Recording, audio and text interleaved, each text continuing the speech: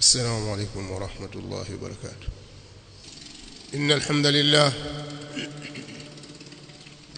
نحمده ونستعينه ونستغفره ونعوذ بالله من شرور أنفسنا ومن سيئات أعمالنا. من يهده الله فلا مضل له ومن يضلل فلا هادي له وأشهد أن لا إله إلا الله وحده لا شريك له وأشهد أن محمدا عبده ورسوله. يا أيها الذين آمنوا اتقوا الله حق تقاته ولا تموتن إلا وأنتم مسلمون. يا أيها الناس اتقوا ربكم الذي خلقكم من نفس واحدة. وخلق منها زوجها وبث منهما رجالا كثيرا ونساء واتقوا الله الذي تساءلون به والأرحام إن الله كان عليكم رقيبا. يا أيها الذين آمنوا اتقوا الله وقولوا قولا سديدا. يصلح لكم أعمالكم ويغفر لكم ذنوبكم.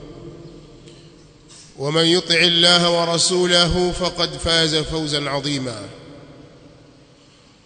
أما بعد فإن أصدق الحديث كتاب الله وخير الهدي هدي محمد صلى الله عليه وآله وسلم وشر الأمور محدثاتها فإن كل محدثة بدعة وكل بدعة ضلالة وكل ضلالة في النار.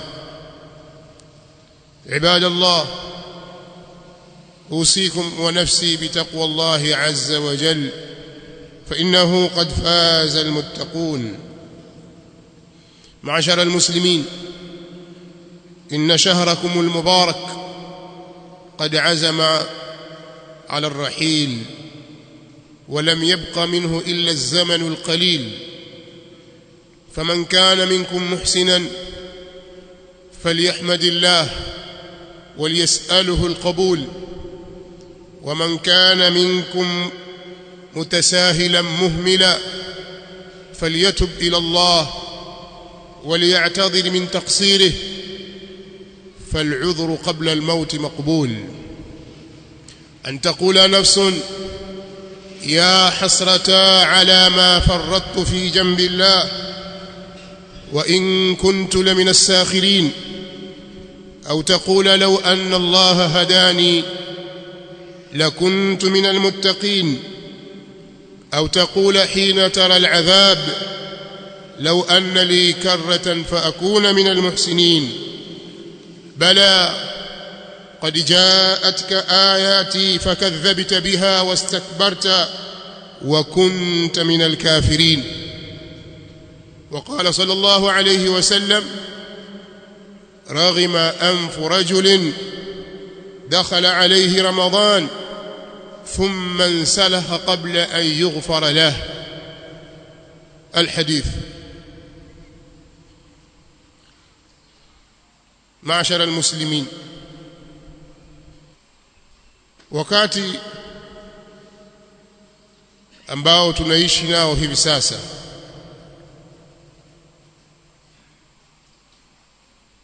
au kipindi ambacho sisi tumo ndani yake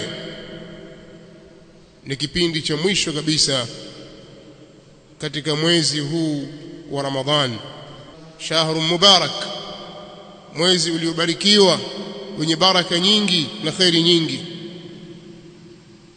Hakutatokea tena aljumaa kama hii alafu iwepo iwe iko ndani ya Ramadhani ndani ya mwaka huu kwa maana kwamba Ramadhani inaondoka hii. Mwezi huu ambao zimekithiri kheri zake tayari ushaazimia kutuondoka na hakuna kilichobakia isipokuwa ni kitambo kidogo sana. Yule alijitumisha na akajitahidi kumtumikia Mola wake kwa kufanya mambo mazuri ndani ya mwezi huu basi aliyepata taufiki hiyo na wakati wa kufanya hivyo. Amuhimidi Allah subhanahu wa ta'ala kwa kupata faragha hiyo kwa kupata nafasi hiyo na pia amuombe Allah subhanahu wa ta'ala amtakabalie amali yake. Maana si swala la kujisifu.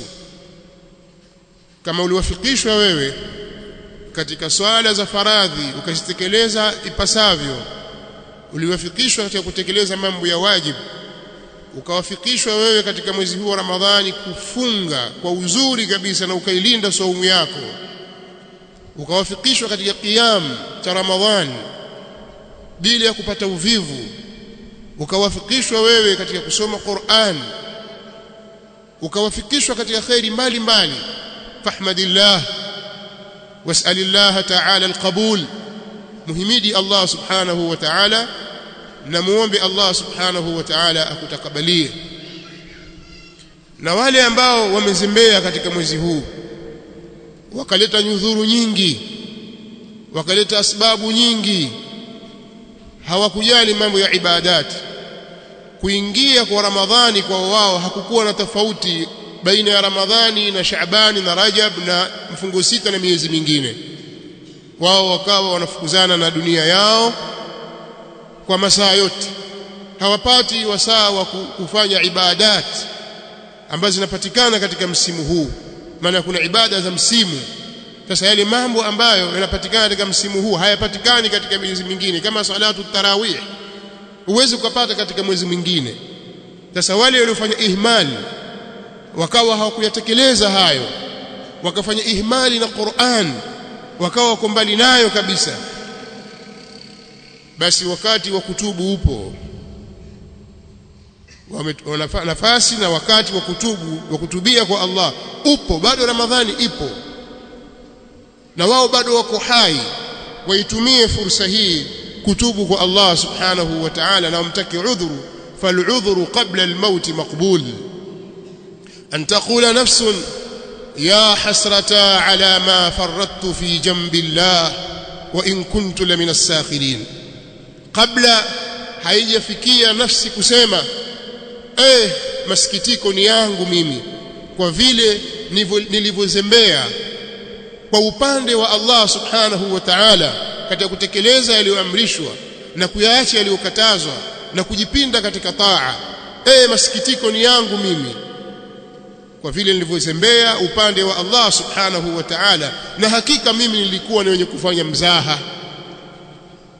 Au taqula law anna Allah hadani au kabla nafsi haijafikia kusema laiti Allah angeliniongoza mimi la kuntu minal muttaqin basi mimi ningelikuwa ni katika wenye kumcha Allah subhanahu wa ta'ala. Usisubiri ukafika wakati huo. Au taqula hina tara al'adhab au kabla haijafikia nafsi kusema wakati itakapokuwa nafsi inaiona adhabu mbele yake lau anna li karratan natamani ningepata mimi fursa ya kurejea. Ningerudi tena duniani fa akuna min almuhsinin ili niwe pamoja na wenye kufanya wema. Usisubiri wakati huo kwamba laiti laiti laiti usisubiri wakati huo kwa sababu Allah anasema bala atawaambia watu wa namna hii wenye kusikitika bala qad ja'atka ayati fakadhabta biha wastakbart wa kunta min alkafirin. Hapana bwana. Aya zangu zilikufikia wewe lakini wewe umefanya kiburi umezikadhibisha ukafanya kiburi ukawa ni katika wenye kuzikana. Umezikataa hizi aya wewe. Kwa hiyo tuitumie fursa ya uhai tuliyopewa na Allah subhanahu wa ta'ala. Tuitumie fursa katika hizi siku chache zilizobakia katika mwezi huu wa Ramadhani kurudi kwa Allah subhanahu wa ta'ala kwa kumwomba msamaha na kuyaunga yale mapungufu tuliyoyafanya katika siku zilizopita. Kabla hujaikosa fursa hii alafu kaja ukasema maneno haya ya hasrata ala ma faradtu fi jambillah Mtume sallallahu alayhi wa alihi wasallam katika hadithi ambayo ameipokea al-Imam at-Tirmidhi rahimahullahu ta'ala kutoka kwa sahabiyun jalil Abu Huraira radhiyallahu ta'ala anhu katika maneno aliyosema akasema raghima anfu rajulin imedhalilika kwa maana idhalilike pua ya mtu ambaye dakhala alayhi ramadhan thumma insalakh falam yughfar lahu imeingia kwake yeye ramadhani kisha ramadhani ikatoka ikaisha na yeye hakusamehewa. Jambo baya kabisa.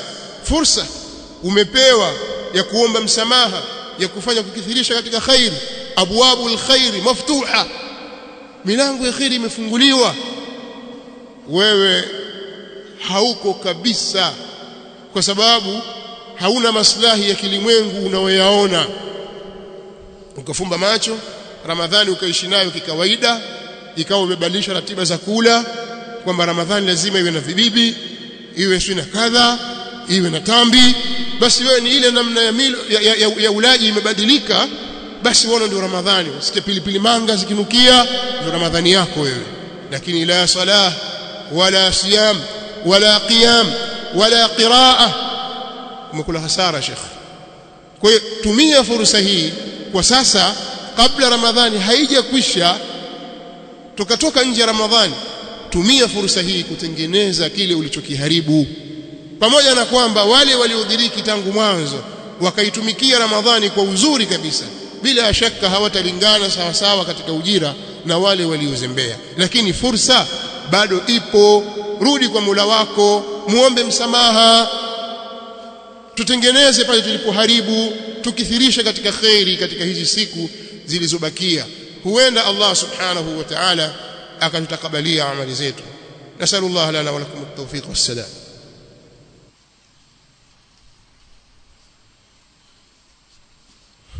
الحمد لله رب العالمين والعاقبة للمتقين ولا عدوان إلا على الظالمين والصلاة والسلام على أشرف الأنبياء والمرسلين نبينا محمد وعلى آله وصحابته أجمعين والتابعين لهم بإحسان إلى يوم الدين. وسلم تسليما كثيرا أما بعد معشر المسلمين. وكوا tu katika Ijumaa ya mwisho ya mwezi huu wa Ramadhani hatutakutana tena kwa ajili ya salatu aljum'a ndani ya mwaka huu 1443 hijiria tukiwa ndani ya Ramadhani. Tutakutana na swala za aljum'a nyingine jumuat zitakazokuja lakini tutakuwa tuko nje ya Ramadhani. Mwezi wa Ramadhani unapofikia mwisho kule kwenye khitamu yake mwisho wake kule kuna mambo mengi ya kisheria ambayo tunatakiwa tuyajue. Kwa hiyo tutakuwa itakuwa hii ni kama fursa kwetu ya kuelimishana. Kwa sababu kuna zakatul fitri na kuna swala ya Eid. Haya ni mambo yamewekwa katika sheria. Kwa tunaweza kuitumia mimbari hii na wakati huu kama ni fursa ya kuelimishana juu ya jambo hili. Pamoja na kwamba zimepita darasa nyingi za mwezi wa Ramadhani zikielimisha juu ya jambo hili. Lakini si wote wanaokaa kujifunza jambo hili kwa nyudhuru au kwa mambo kwa sababu tofauti tofauti. Wengine wakiwa na udhuru nyudhuru zinazokubalika na wengine ni ile tabia yao ya kupenda kupuuza. Kwa kuwa wajibu wetu sisi ni kuelimishana na kufikishiana ujumbe basi tutatumia fursa kama hizi. Kuna suala la zakatul fitri. Mtume sallallahu alayhi wa alihi wasallam ametufundisha sisi watu wafuasi wake kwamba tunapomaliza Ramadhani tutoe zaka kwa ajili ya kufungua. Sasa nataka nitaji baadhi ya vitu tu. Hukumu yake hiyo zaka zakatul fitri kisheria ina hukumu gani na hikma ya kuwekwa kwake na aina ya chakula au aina hiyo hiyo zakatul fitri ni kitu gani kiasi gani kwa wakati gani na ni nani anayepewa. Vitu hivi kama vitano hivi au zaidi kidogo. Katika hikma na hukmu haya yametajwa ndani ya hadithi ya mtume sallallahu alaihi wa alihi wasallam ambayo ameipokea al-Imam Abu Daud kadhalika al-Imam Ibn Majah rahmatullahi ta'ala alayhima katika sunani zao kutoka kwa sahabiyun jalil Abdullah ibn Abbas radhiyallahu anhuma Ibn Abbas radhiyallahu anhuma anasema faradha Rasulullah sallallahu alayhi wasallam zakat al-fitr Mtume sallallahu alayhi wasallama amefaradhisha zaka ya fitri lisaimi kwa mwenye kufunga kwa hiyo mpaka hapa kwanza kwenye neno hili tunapata kwamba zakatul fitri ni faradhi ndio hukumu yake. Ni faradhi. Katika uislamu likiambiwa jambo hili ni faradhi maana yake ni jambo la lazima. Ukilifanya kwa kuwa watekeleza amri utapata thawabu utastahiki kulipwa wewe ujira mbele ya Allah subhanahu wa ta'ala. Na ukiliacha jambo hilo bila ya udhuru unaokubalika kisheria wapata madhambi wapata madhambi. Kwa hiyo mtume sallallahu alaihi wasallam amefaradhisha zaka ya fitri si jambo la khiari kwa mwenye kufunga. Faradha rasulullah sallallahu alaihi wasallam zakata alfitr tuhratan lisaimi min allahwi warrafath. Mtume sallallahu alaihi wasallam amefaradhisha zakatu fitri kwa uh, kwa ajili ya kumtaharisha aliyefunga kwa ajili ya kumtaharisha aliyefunga hikma sababu na siri iliyowekwa au iliyowekewa zakatul fitri ni kwa ajili ya kumtaharisha huyu mfungaji kutokana na maneno ya kipuuzi na mambo machafu yale mambo mabaya aliyoyafanya katika mwezi wa Ramadhani katika kauli na katika vitendo. Kwa hiyo ukitoa zakatu fitri inakuwa ni sababu na ya kujitaharisha wewe. Allah anayataharisha yale makosa yako uh, uliyoyachuma ndani ya mwezi huu wa Ramadhani. Lakini wa tu'matan lilmasakin, na ni chakula kwa ajili ya maskini, ni kwa ajili ya kuwalisha maskini. Kwa hiyo hapa panapatikana hukumu na hikma hukumu yake ni faradhi na hikma au unaweza kusema siri iliyomo ndani yake ni kumtakasa mfungaji lakini vile vile kumlisha maskini wa Kiislamu ile siku ya Eid wakati Mtume sallallahu alaihi wasallam katika hadithi hii akasema faman addaha qabla as-salah basi atakayeitoa zakatul fitri kabla ya swala ya Eid fahiya zakatun maqbula hiyo itakuwa ni zaka yenye kukubaliwa kwa lafdhi hii imekuja pia fahiya zakatun maqbula waman addaha ba'da as-salah na atakayeitoa zakatul fitri baada ya swala ya Eid fahiya sadaqatun min as-sadaqat hiyo ni sadaka tu miongoni mwa sadaka. Kwa hiyo wakati pia umewekwa wakati wake uwe ni kabla ya watu hawajakwenda kwenye sala kwenye katika mswala wa Idi na ahlul ilm wanatueleza ya kwamba itajuzu kutoa zakatul fitri kabla siku moja kabla ya kufika kwenye Idi Kwa hiyo unaweza ukafanya maandalizi mapema ukatoa eh, zaka yako ya fitri. Aina ya chakula au aina ya hicho chenye kutolewa katika zakatul fitri na kiasi chake. Haya yamekuja katika hadithi aliyopokea al-Imam al-Bukhari rahimahullahu ta'ala.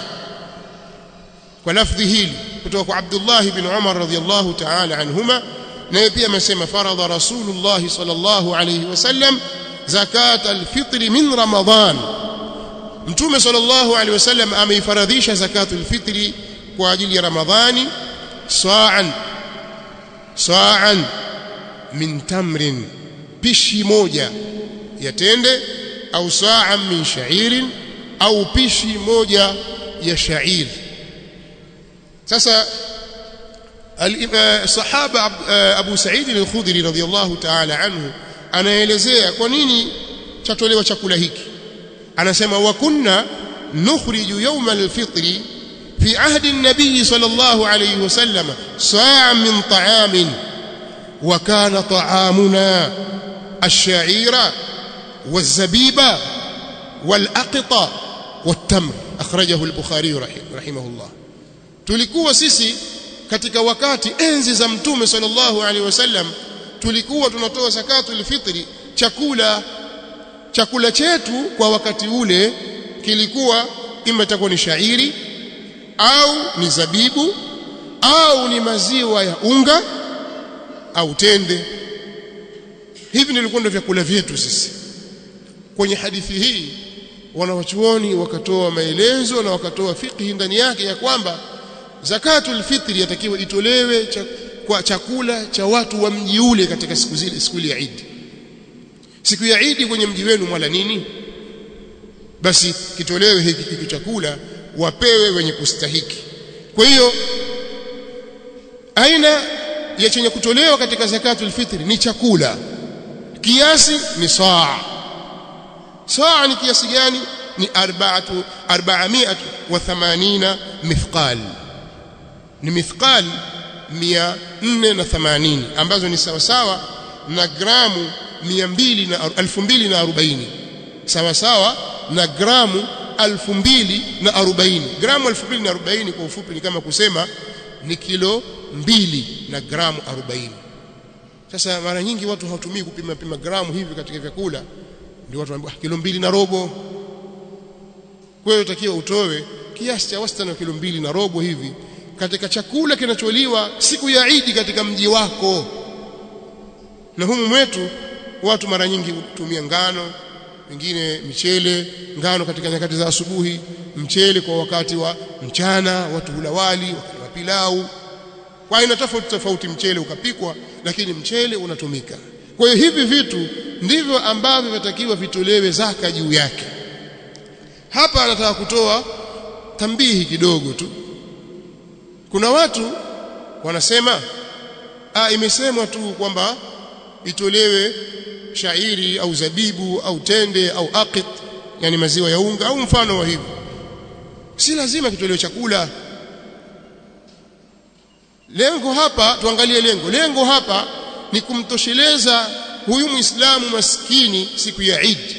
Kwa hiyo itafaa kumpa pesa pengine mwenyewe za kuamua pesa ile akaenda kanunua kanzu siku ya Eid au akaenda kanunua uturi au pingine tayari kuna mtu kashampa fitri amempa ngano amempa uh, mchele.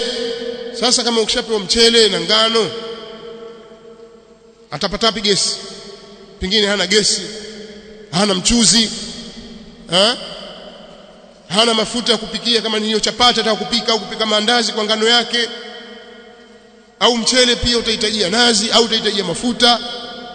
Sasa atatoa wapi huyu? Si afadhali umpe pesa hizi ni kauli zipo zinazungumzwa. Lakini siku zote tutawaambia wa khaira alhadi hadi Muhammad sallallahu alaihi wasallam. Muongozo mzuri na ulio bora ni muongozo wa mtume sallallahu alaihi wasallam.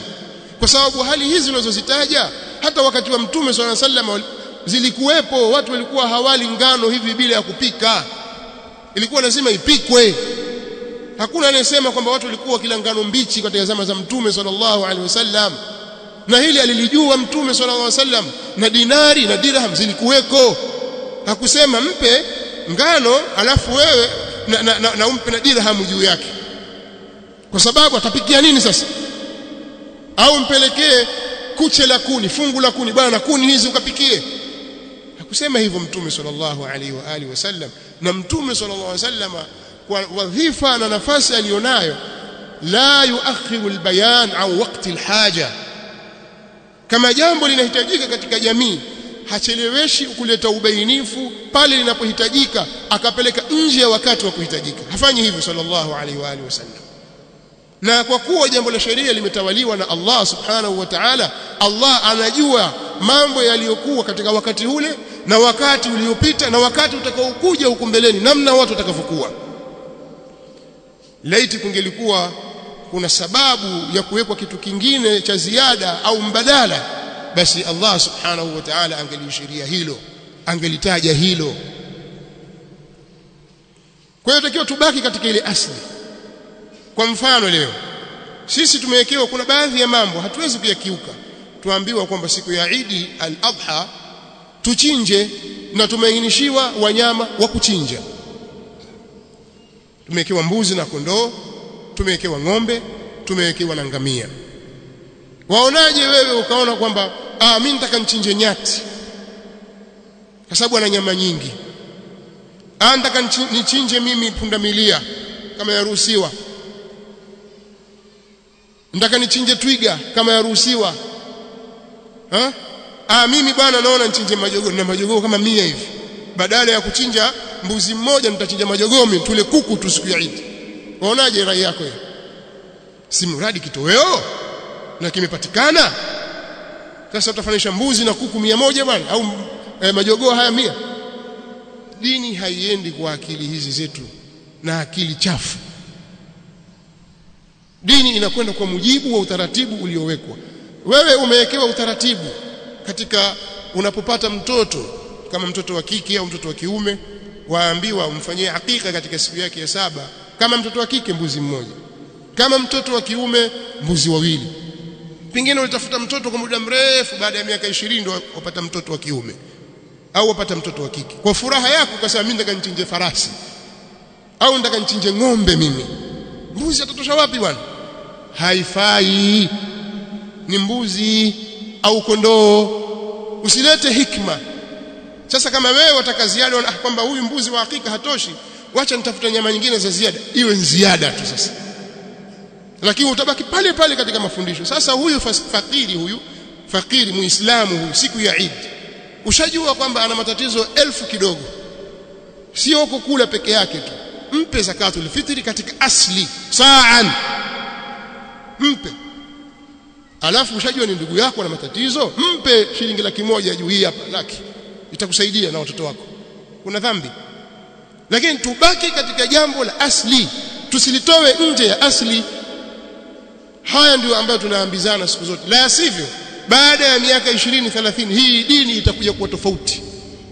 Si uislamu ule alikuja nao mtume sallallahu alaihi wasallam. Kwa sababu kuna watu ni mabingwa wa kuweka fikra wataka kuharibu ule uislamu.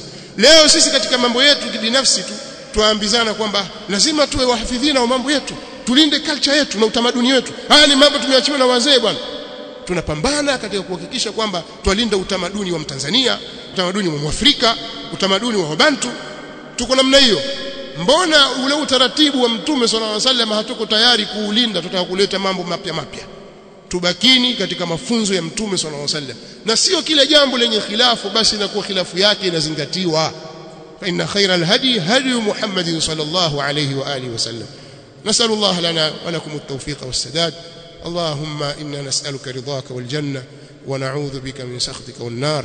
اللهم إنا نسألك رضاك والجنة ونعوذ بك من سخط من سخطك والنار.